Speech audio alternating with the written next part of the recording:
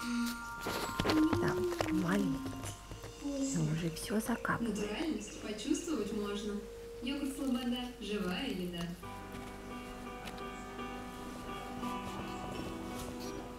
Глубокий вкус и волна.